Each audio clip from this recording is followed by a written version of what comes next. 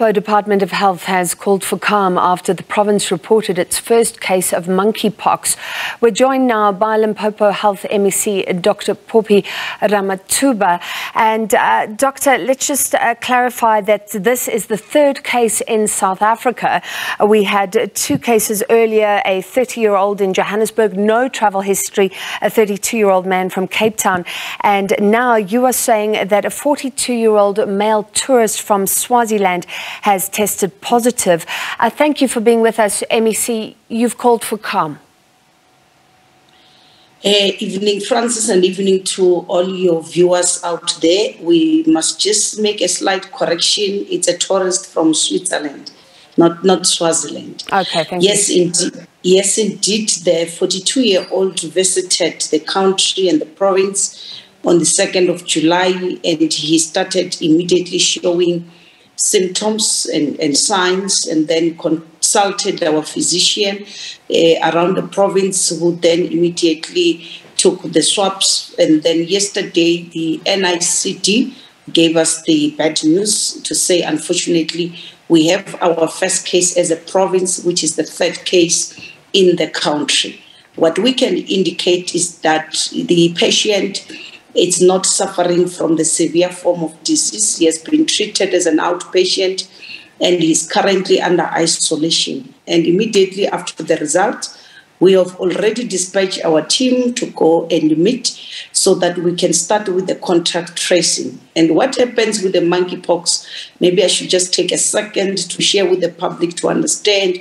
When we do contact tracing, we look into face to face contact where if you were not wearing a mask, you could have been at risk uh, to be infected. We also look at the issues of if you have been on the contact with the skin of the person who is infected with those skin blister like lesions. We also look at the issues of your sexual partners, those who have been in sexual contact with you. And we also look at the clothing that you were using, the linen, especially in this environment, which is a, a lodge.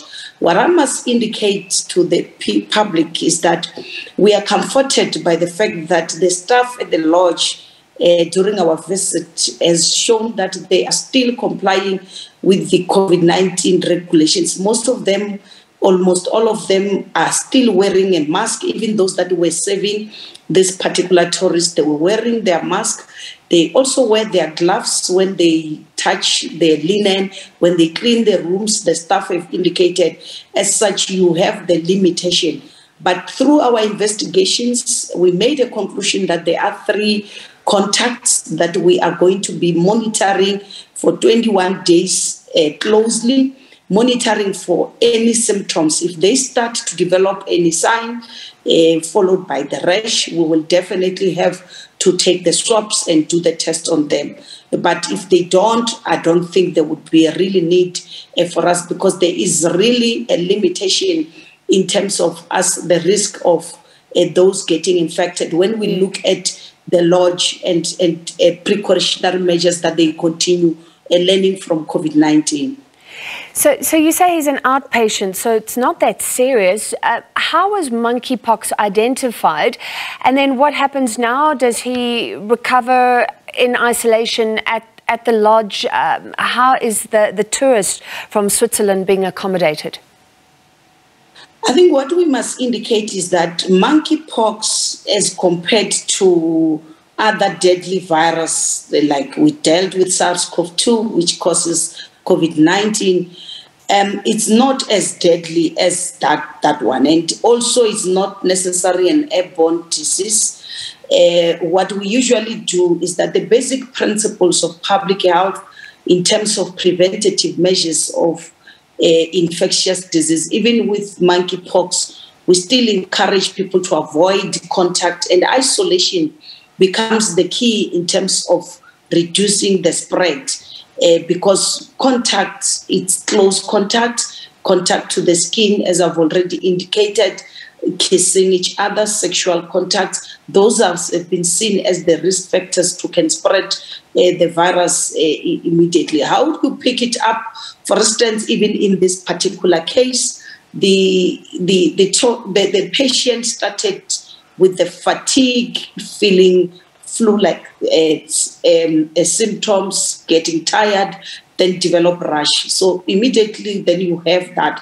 And the rash, it's, it's, it's like blister-like sores uh, that you could see on the skin, and they can be in both your upper and lower extremities or generalized within the body or located within the part of your body. So when we see those um, symptoms, we then would do the test. We must reassure the public that uh, there's no need, of course, to for panic or the need, a need for us to uh, begin to think that maybe we're going to hard lockdown because that's what some of uh, people were asking me. What we're simple saying is that there are many viruses out there.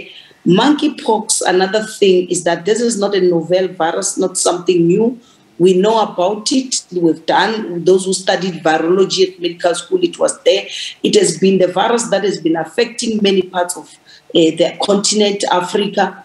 Uh, it's only now that we're starting to see it affecting continents like Europe uh, and countries in Europe, when we see the USA, when we see Canada. So these are the countries that previously they never experienced cases of, of monkeypox. Probably that's why now it is of an interest within the global community, but it has been affecting uh, the parts of the continent and it, it was uh, never given this full attention like it is now. And then lastly, we must also remember that monkeypox has got a vaccine. It's not something that we will start uh, on trial and start to come up with clinical trials for any vaccine. We do have those vaccines, they are available for those people who immune and suppression, uh, elderly people, those who feel like they want to protect themselves, they are welcome to do so. But basic hygienes Let's continue. Those who are working in the lodges, in the hotels, those who are working at the border post, we still insist before you search our things and whatever, wear your mask, protective clothing is important. If we follow those basic hygiene principles, we will go a long way in, in, in curbing the spread of this virus. MEC, thanks you for, for outlining about monkeypox because I think a lot of the concern is uh, just about uncertainty, about how dangerous this is, um, how you get it. We don't know as much as COVID 19. Very quickly, uh, is there any obligation on South Africa now to speak to Switzerland and alert them to this case? Um, is, is there anything, anything that has to happen uh, across borders? There's nothing that needs to happen except the, the basic protocols and guidelines that guides the clinicians and physicians whenever you, you deal with a patient who has got an infectious disease uh, or a communicable disease. The first thing is to communicate to the public, which we are currently doing as soon as the NICD tells us. That, and also at the same time, we need to also do contact tracing. We also ask the patient people that he has contacted from uh, Switzerland, his home country.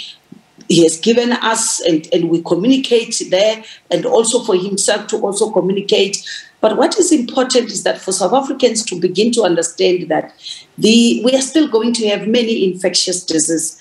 Uh, I always say, with also the climate change that happens, you would previously deal with malaria, for instance, just in Mopani and Vhembe district. But today we are dealing with malaria even in Waterberg, in Sekhukhune, areas that never had malaria previous. So we're saying we're still going to have a lot of them. So for us, preventative healthcare is important, going back to basics um, of hygienes.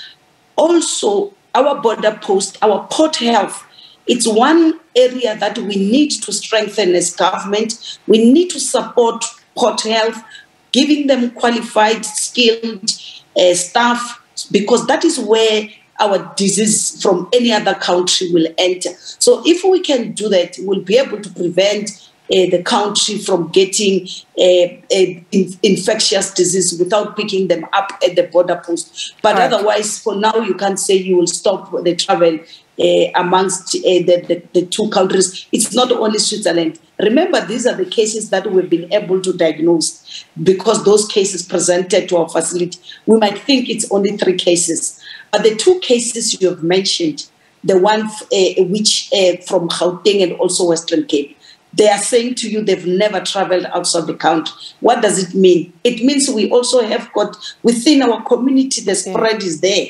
So that is why we're saying we need to educate our people to understand about this disease, how you can protect yourself and your loved ones. Because that's the thing that we need to do. We are living within the global community. We are not in an island as South Africans. We interact with our friends and colleagues from any other parts of the world. So what we need to do is that let's just remain vigilant, but being calm. Because if we don't get yes. calm, we are going to lose the focus from dealing with the virus. All right, MEC, uh, thank you so much uh, for your time tonight. Uh, yes, uh, presumably a lot of undetected cases. That one in Limpopo sounds very contained for now. That was the Limpopo Health MEC, Dr. Phophi Ramathuba.